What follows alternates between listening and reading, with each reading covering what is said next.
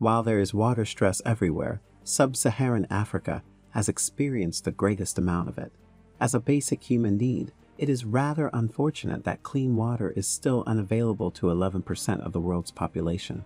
According to Mark Giordano, a specialist for the International Water Management Institute in Colombo and Sri Lanka, Southern Africa, and northern sub Saharan Africa suffer the most, especially the strip across the continent along the north of the Sahel region in West Africa.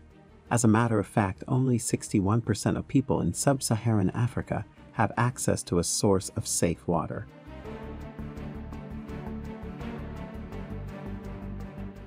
So, the idea that water can be found in the Sahara, one of the most hostile regions on the African continent, and the entire planet sounds impossible and far fetched. Yet, a string of recent occurrences has brought to light some of the most fascinating water harvesting techniques that have proved feasible in the Moroccan Sahara Desert. Join us in our video today as we examine how a German water foundation has produced water in the Sahara Desert using an amazing and practical technology. Honestly, you won't believe what you see. Stick with us till the end, and don't forget to leave a comment, give the video a like, and subscribe for more exciting future videos. The Sahara is frequently portrayed as a classic desert landscape, scorched by the sun and dotted with hidden oases and sand dunes accumulated over time. It is nearly the size of the United States and encompasses one third of the African continent. It has one of the world's harshest ecosystems and one of the driest climates, covering 3.6 million square miles. For years, the region has experienced an increase in drought, which has caused the desert to spread further and further and the groundwater level to steadily decline. So, as the Sahara Desert moves south, finding water becomes increasingly important to reduce the strain on local community tensions. According to surveys, 60% of people lack access to running water, and the water they do have may not necessarily be fit for human consumption. As people must travel great distances every day to purchase municipal well water, this situation grows increasingly frustrating. Additionally, a lack of access to clean water has hampered children's education while also affecting the hygiene and health of children in rural communities. Studies have been requested in an effort to identify workable solutions to the region's pervasive water scarcity. But over the past few years, some incredibly creative organizations have explored unique alternatives. The most intriguing one, though, would use the biggest water harvesting system ever created to supply thousands of people in 16 isolated villages with safe drinking water. The concept of fog harvesting was developed in South America in the 1980s, and there are currently active projects in Chile, Peru, Ghana, Eritrea, South Africa, and California, among other nations. It took 10 years to bring it to Morocco, and after four years of testing, the project was officially launched in 2015 on World Water Day. The established Water Foundation had been investigating the use of fog collectors to exploit the abundant supply of water in the desert using a method known as cloudfisher. The cloudfisher net in Morocco is the world's largest fog harvesting project. The innovative technology was developed by volunteer engineer Peter Trautwein of the German Water Foundation to mimic how a spider's web naturally receives dewy droplets from the mist. The cloudfisher is built from tiny triangles that are encased in highly durable plastic grids. The nets are suspended vertically in the mountains so that the wind naturally blows fog into them. The mesh of the net collects water droplets, which fall into a trough below and eventually into a reservoir where the drinking water is collected. The cloudfisher was designed with inspiration from nature and is based on the adage that the tree that bends to the wind is the one that survives. In order to mitigate the effects of wind forces on the nets and lower the likelihood of breakage, rubber expanders are used to hold the nets in place. Even the collecting trough moves with the movement of the net in the wind to prevent any resulting water loss.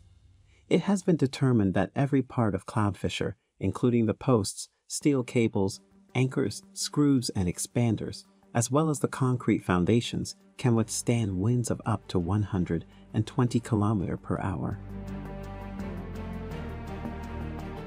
Since January 2012, Peter Trautwein has been putting a lot of effort into developing fog collectors. He has a degree in industrial design and has been engaged in the industries of water treatment, consumer electronics, medical technology, and transportation design since 1989. ECO owns the companies Ergon 3 Design and Quellform GmbH and is actively involved in the design of water dispensers through these companies. In addition to this, Peter founded Aqualonis GmbH for marketing Cloudfisher commercially. With the aid of Dar Si Hmad, a women-led NGO in Morocco, Trautwein, who has long studied the science of drawing drinking water from atmospheric vapor, put his Cloudfisher project into action in Morocco. On one of Morocco's driest mountains, Mount Bout the project was subsequently tested for two years. Over the course of the two years, various net structures were tested for their water yield, with monofilaments proving to be the most successful. The project on Mount Bout is situated close to the coastal town of Sidi Ifni in the anti-Atlas Mountains at Baamrane region. The majority of the population consists of Berber communities, particularly women, children, and the elderly.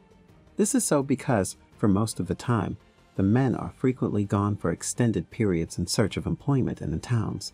There have been concerns that drought has become a greater threat to the area in recent years, with the desert spreading and the water table steadily declining. However, the clouds and fog that surround Mount Boutmezguida continue to produce a significant amount of atmospheric water vapor.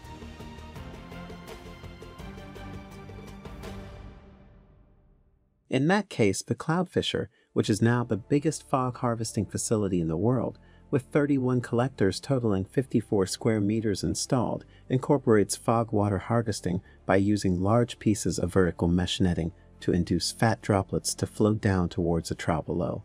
Through the process of condensation, dew is formed when atmospheric water vapor condenses on cold surfaces and condenses into droplets of liquid water. This fascinating technique is made even more impressive given the fact that one collector can collect 0.5 liters of water in 22 seconds. What's more, the cutting-edge fog collector requires no energy and is easy to install and maintain. Even more intriguing is that food-safe materials were used throughout, and that the Cloudfisher can deliver high-quality drinking water that complies with WHO's drinking water standards to hundreds of thousands of people.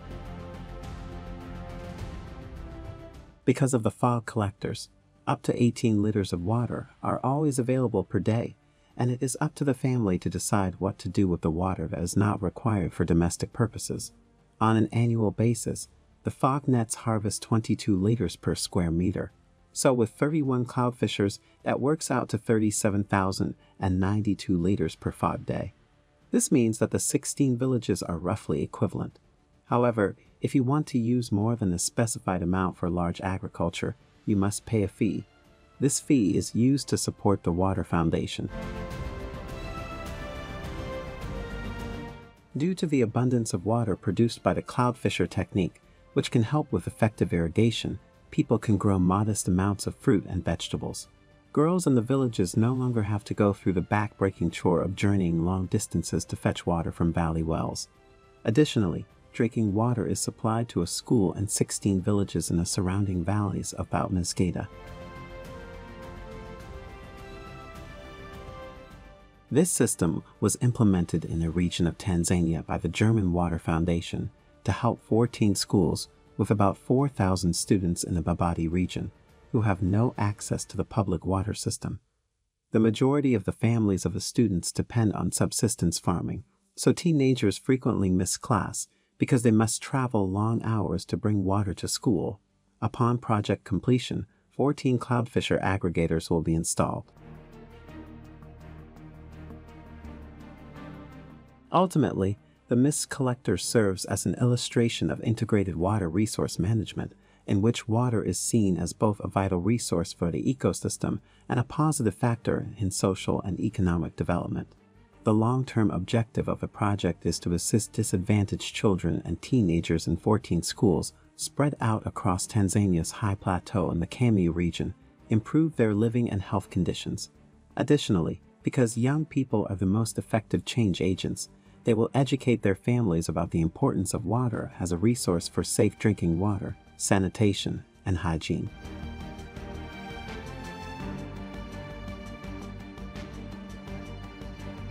That sums up our video for today. If you were fascinated with this video, watch also the next video on your screen which looks at the Ethiopian scientist whose quest is to find water on the moon. Be sure to leave a comment, give the video a like, and subscribe to the channel for more exciting future videos.